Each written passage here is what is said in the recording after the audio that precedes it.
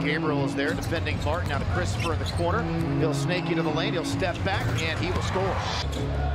Carson, California, attended Mayfair High School in Lakewood. Oh, good. Reaves, oh, got fouled, and he made. Oh, Bill Russell on that one, man. I mean, Nick, yeah. Nick, Nick thought he was home free, and Hachimura said, nope. Reaves Austin Reaves. agent, and indeed, he's going to get a big, nice, fat payday this summer.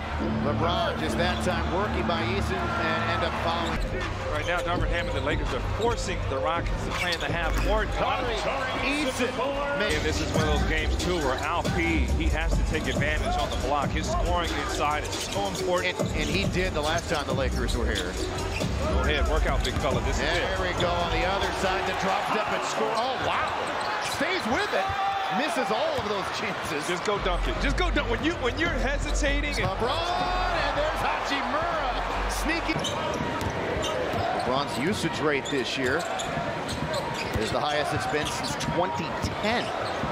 Stepping in for the two. I tell you what, Hachi, LeBron will rip and run. LeBron to the line, spinning to the cup, layup, That was, I, I mean, he just baited. LeBron James, second lowest three-point percentage of his career. Green for 20. That can stop on a dime. Back to Davis. In on Sengun. Decisive drops. There you go. All right, see if Sengun can answer. Backing it on Davis. Goes baseline, goes with a left hand and gets it to go. Love your defense early on every NBA player, and especially those greats. Green knocks down the three. No, no. Got 15. The quick outlet. Davis dumps it down. Uh, uh, Davis, now make him shoot over you. Swings it to Reaves. Gets turned back. Now to Russell. Good ball movement. Here's Brown.